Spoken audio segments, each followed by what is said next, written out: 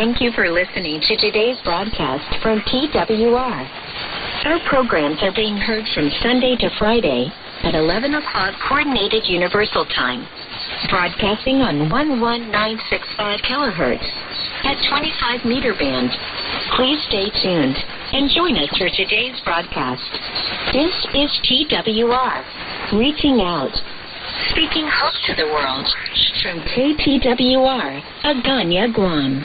On the ground or up in the air, there are opportunities everywhere to point people to faith in Jesus Christ. Hi, I'm Steve Douglass for Making Your Life Count, and Rasool Berry shares one such opportunity he had while on a flight.